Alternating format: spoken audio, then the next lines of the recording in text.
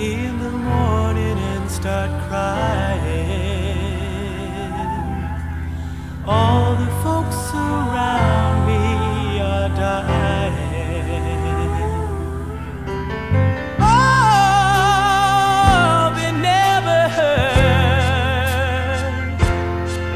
about Jesus.